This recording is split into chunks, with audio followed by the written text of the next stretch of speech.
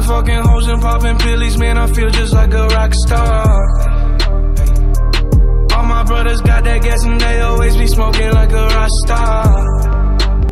Hello guys welcome to Tej media news तो guys आज हम बात करेंगे मार्वल की एक दमदार न्यूज़ के बारे में। तो अभी हाल ही में पता चला है कि मार्वल मूवी के जितने भी डायरेक्टर हैं, उन सबों की आपस में एक मीटिंग हुई है। बट इम्पोर्टेंट ये है कि अभी तक ये कंफर्म नहीं हुआ है कि कौन से डायरेक्टर इस मीटिंग में शामिल हुए हैं। अगर ये कंफर्म हो जाता तो हम अंदाज़ा लगा सकते थे कि कौन सी मूवी रिबूट होगी। रिबूट का मीन्स मेरा मतलब है, यानी कि सबसे पहले जो ब्लेड मूवी आई थी, सुनने में आया कि ब्लेड रिबूट होगी और मार्वल फेस फोर का एक पार्ट होगी।